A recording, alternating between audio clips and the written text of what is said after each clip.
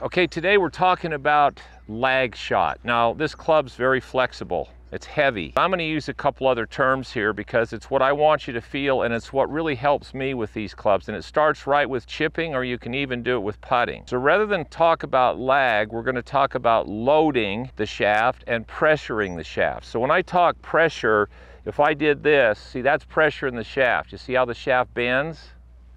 Okay, that's pressure. That could also be called loading. So I'm going back, when I start forward, what happens is the weight of the club going back loads the shaft. So what, what does load mean? Load means it does this to the shaft.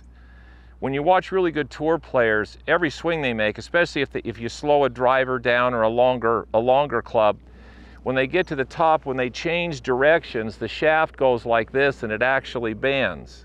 That's called loading the shaft. But you want to start right here with chipping. So what I'm doing here is I'm going to set up and I'm going to just put a little pressure so I can feel what it feels like to pressure the shaft. And then I'm going to try to create that same pressure which makes the shaft load. So it makes it do this. And then once it does that, I'm going to maintain that pressure all the way through the ball. So I'm going to feel that. I'm going to make a swing where I feel that. And then I'm going to keep that pressure on the shaft all the way through the ball. I push here so I feel what it feels like, that pressure feels like in my right arm and right here. Then I'm gonna load the shaft to create that same feeling. Then I'm gonna hit the ball where I keep that pressure or that load all the way through the ball. Now, this is really critical that you understand and you feel that pressure and that load of the shaft. Because as the club gets longer and longer, you should always feel the pressure of the shaft in your hand and the loading or the force that goes into the club. So again, we push.